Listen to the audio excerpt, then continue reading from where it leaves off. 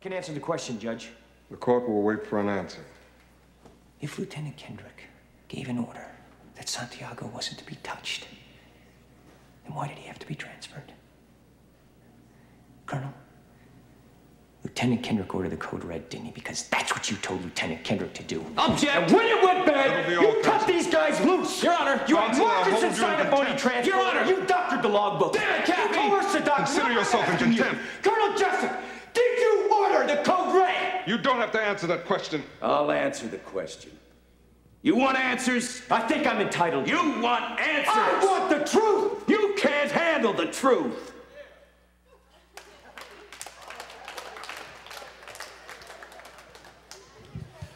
Those are two great actors right there. Has anybody ever seen that movie?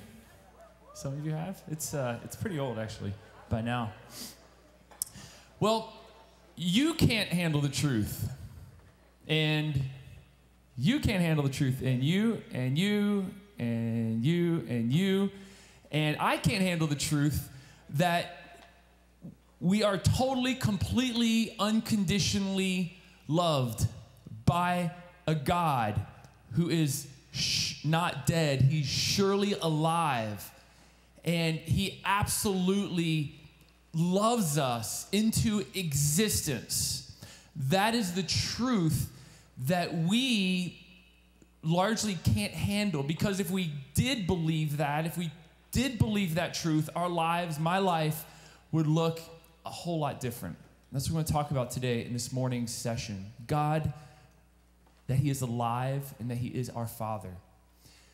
Now, some of you, I, know that there are a lot of people here at a different place. Uh, some of you might not believe in God.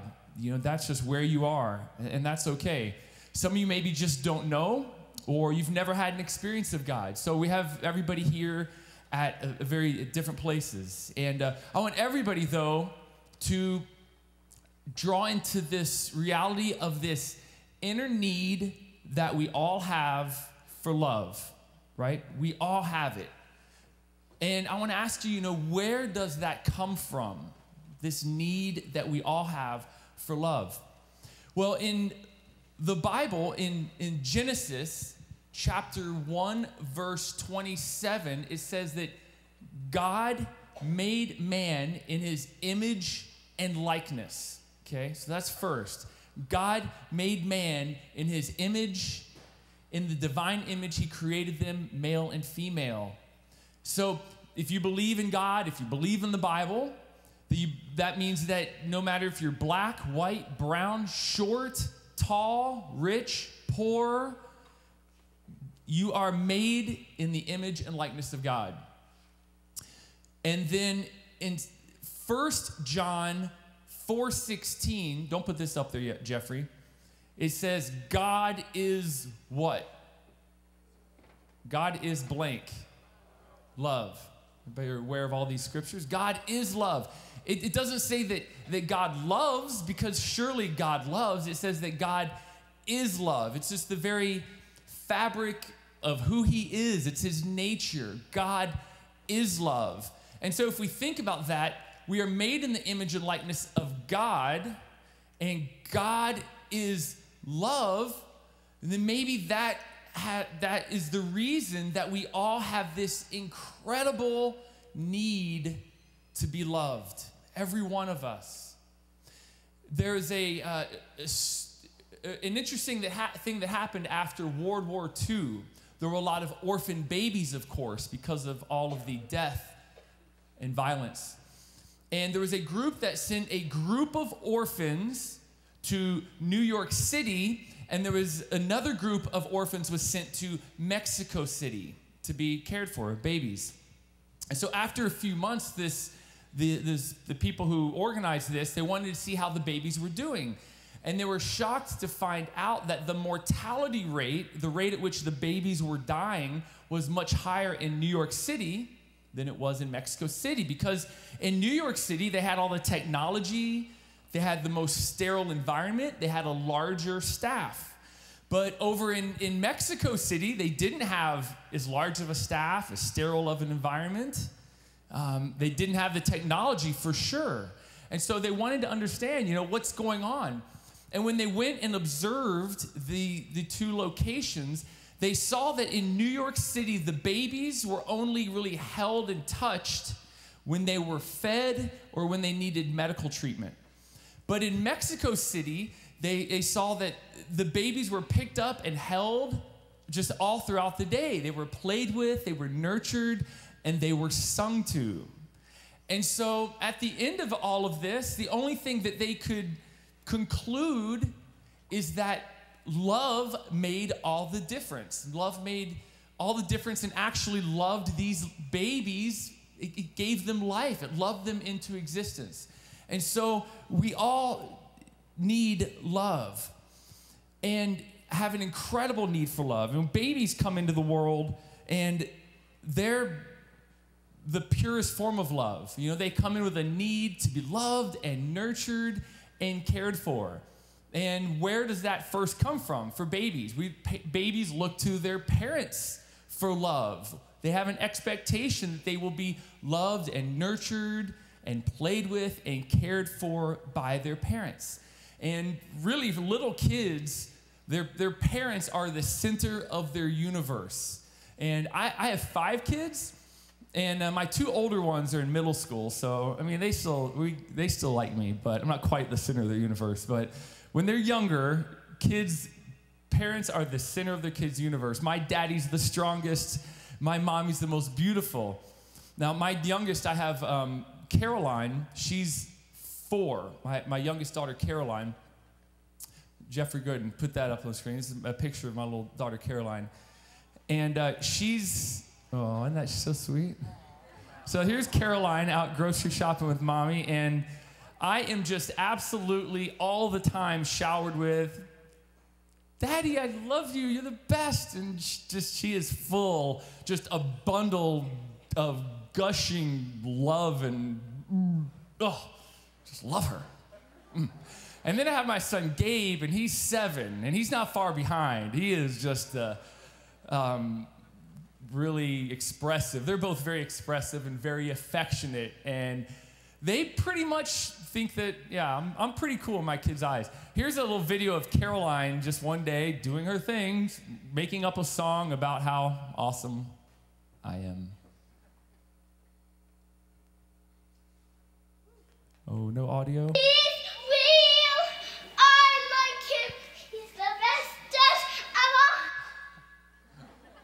Okay, I got cut off. But that's her. She makes up songs. My daddy, he's the best daddy ever.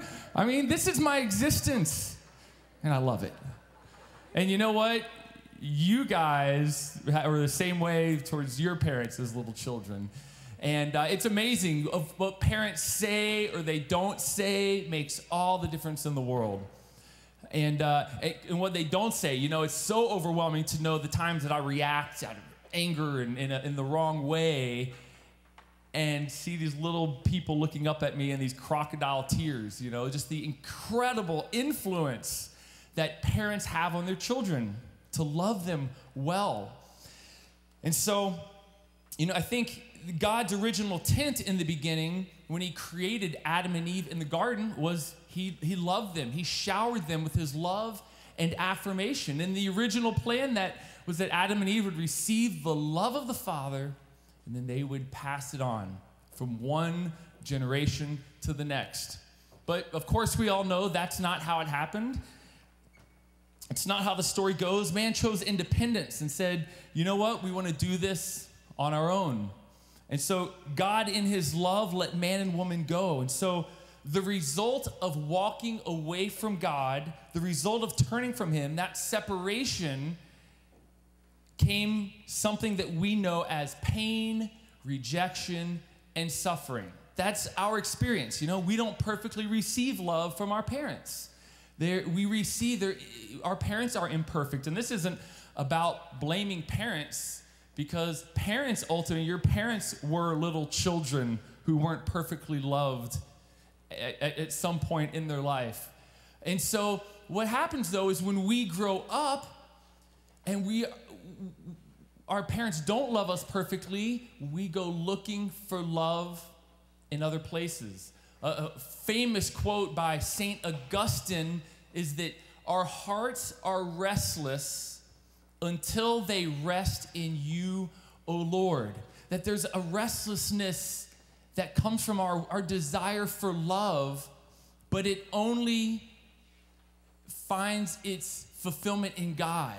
Or there's another way of saying it that, there, that it's like we have a God shaped hole, each one of us. There's a hole inside of us, a restlessness. We're looking, we're searching for love. But that God shaped hole can only be filled by one thing, and that's God.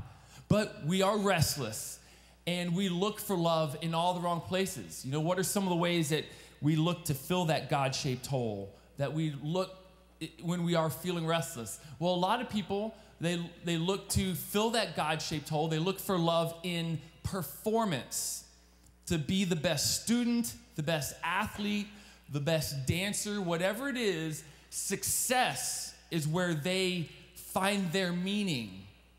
And it's, it's okay to really be into sports or really be into good grades out of a love for being a of sport or a love of wanting to do your best. But I'm talking about some people who are there is just a drive, an insatiable drive to be successful that comes from a deeper place of looking for acceptance and looking for love. But the problem with that is, I mean, look at all the, the stars and athletes that have it all, only to be cra- only to crash and burn because that those things don't satisfy us truly. They don't fill up that God-shaped hole.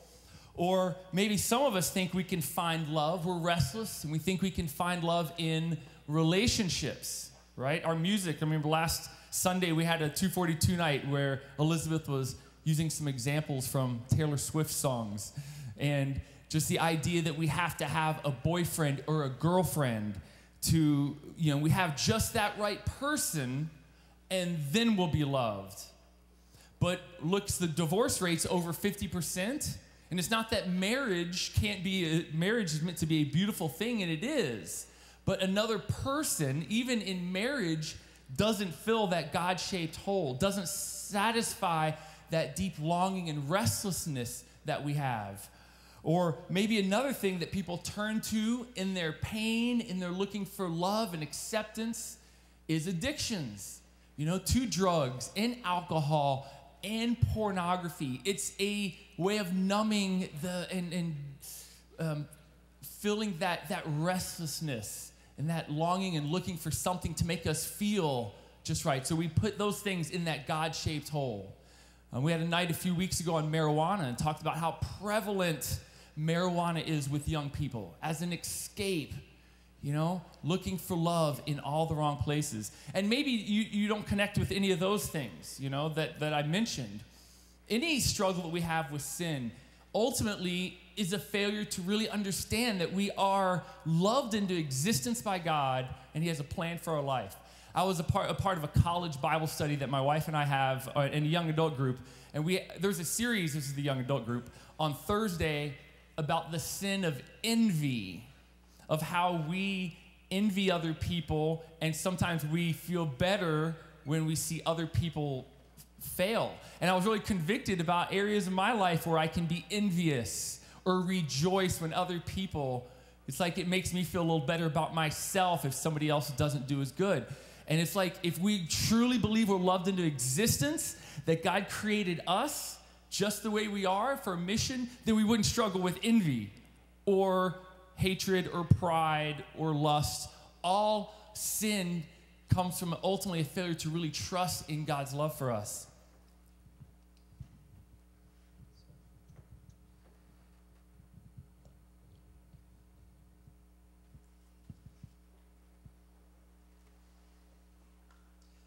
So when it all boils down to it, it, it's all about love. Like you think about 9/11 when you, you guys weren't really old enough to or any major catastrophe and they interview people like on the planes as they're going down they're trying to get a hold of their loved ones just to get them on the phone to just say i just wanted to tell you i love you. Because when it all comes down to it what is life all about is love. Being loved and, and loving others.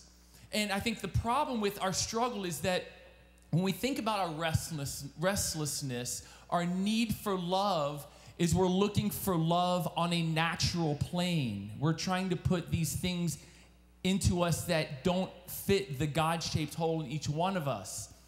And that love is a supernatural love, and only a supernatural love can fill that part of us, can satisfy the restlessness and the desire for love that we all have. And we believe that love comes from God. One of the most famous scripture verses is John 3:16, "For God so loved the world that he gave his only son." It's like that's the story of the gospels. That's the story of the Bible is that God the Father so loved the world and Jesus is saying that he sent me to tell you how much he loves you. That's the good news of the gospel. God the Father sending Jesus, and Jesus saying, My Father loves you. He's not angry with you, He's not disappointed with you. He, he loves you. And He wants, my daddy wants to be your daddy. In Galatians 4, it says, as proof that you are children, God sent the Spirit of His Son into our hearts, crying out, Abba, Father. So you are no longer a slave, but a child. And if a child, then also an heir through God. So God sent the Spirit of His Son into our hearts, crying out, Abba, Father. The word Abba is a word that comes from a word that means daddy. So Jesus is coming to say, God loves you. He wants to be your, your daddy. Like, God isn't just out there, you know, above, distant from us. He wants us to come to know Him as His, his daddy. So, I think the, the one thing I want to encourage you guys this weekend is just to give your permission to be very little, to be a little boy or a little girl who just needs a dad, who just needs to be loved. And our parents all fall short. Some of you guys come from homes where you've been loved very well by your parents, but even there, they're not perfect. God leaves a certain amount of parenting undone so that we will look for God who wants to be our perfect Father. And some of you, I want to just speak a word of hope to who maybe have extremely absent fathers, or maybe you don't know your fathers at all, or maybe you have a father who has really hurt you in, in some ways.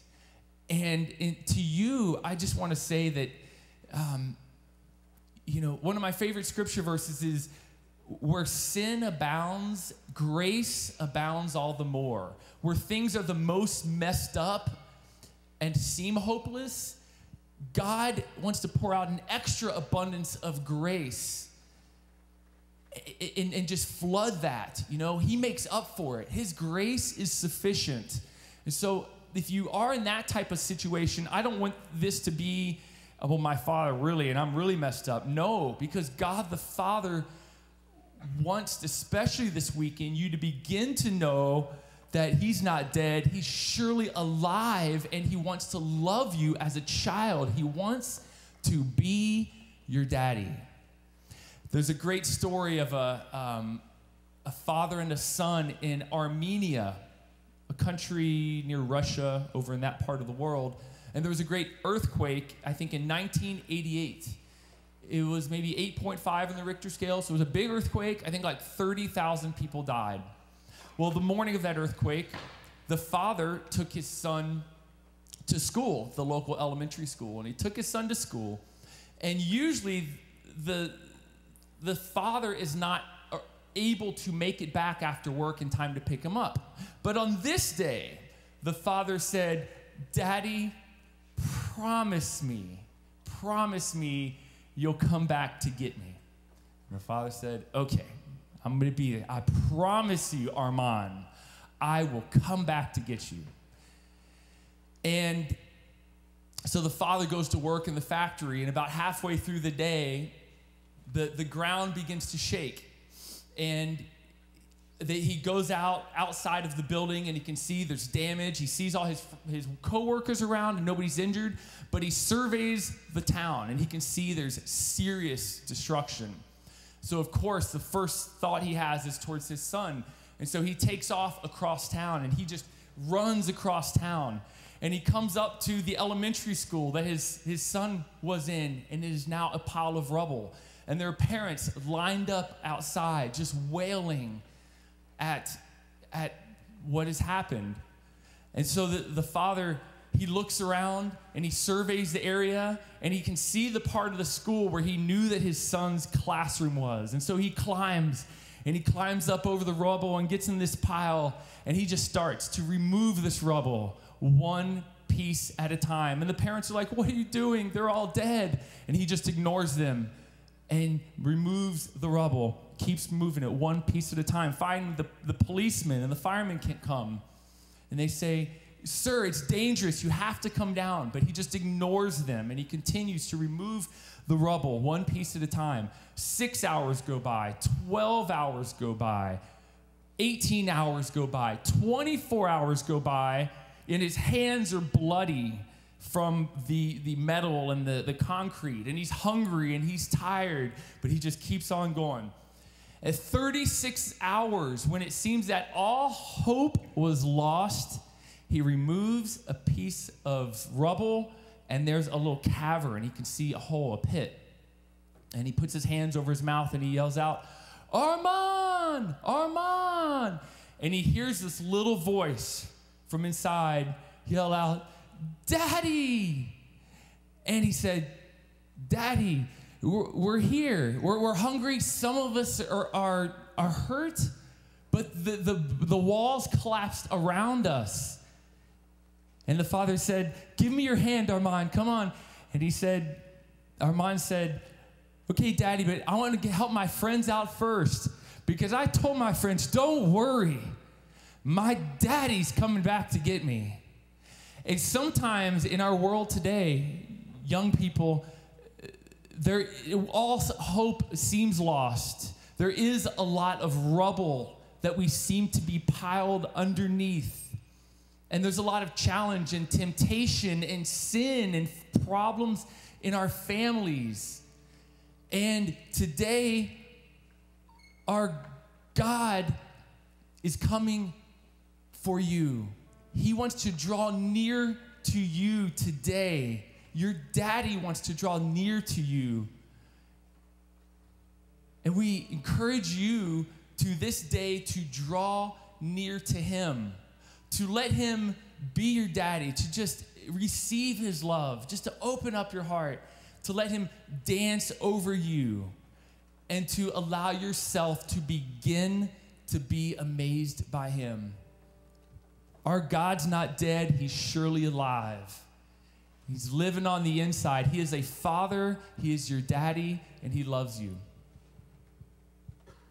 Let us just take a moment and just pray this prayer.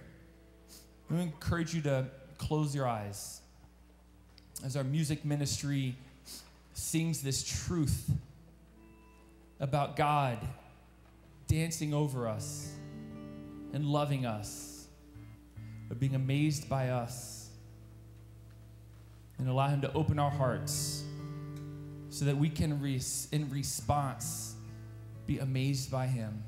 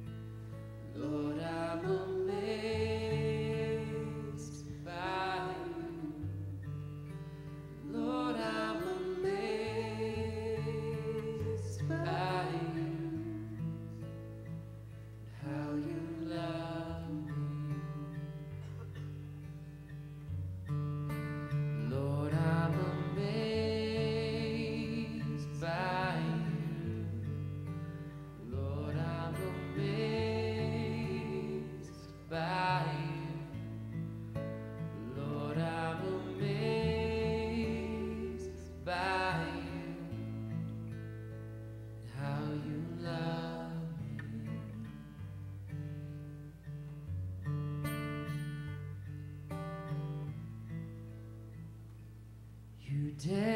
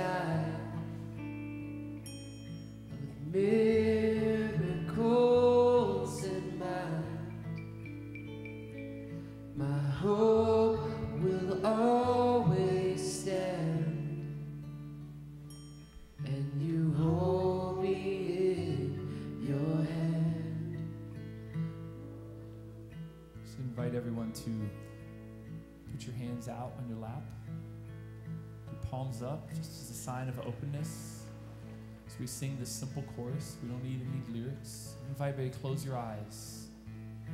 Everyone, close your eyes. And open up your hands. Just allow yourself to be a little child. Allow yourself to be open. Allow your daddy to love you. Receive that love.